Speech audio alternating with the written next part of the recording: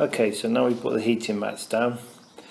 So you can see this is a, a 1 meter by 3.5 and the, the join there between each one. And then you have a brown cable coming off that one. And you have a blue cable coming off that one. So that's a 1 meter by 3.5 and they come in different colours as the sizes change. And different size width of ribbon. So you can see this size there it's like it's different compared to that one there. That's a half by 3.5 and again you can see the cables coming off the end.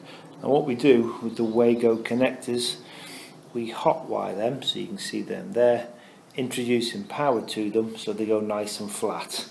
So you can see when they first come out of the bag they're a little bit crumpled like a creased shirt so what we're doing we're introducing the power to them and then when these are warmed up a bit more we'll start taping them down so they're nice and flat.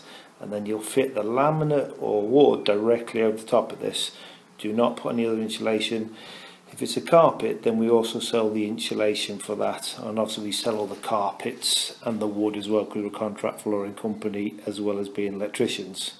So we've got two layers of insulation going down in this conservatory and what we'll do we'll tape all the cables around the perimeter of the room around here and that will go to a junction box over there for the thermostat and the heating mats because that's going to a corner. Now we didn't wire this uh, and what the problem we got here is we've got where the thermostat's going to go, the fuse spur, but electricians come back to put in a junction box so all these cables can terminate in the junction box will be located about there. So you always have three back boxes few spur thermostat and there'll be a junction box with draw wires going down to the floor for all these cables to be pulled up. That's three back boxes 35 mil deep.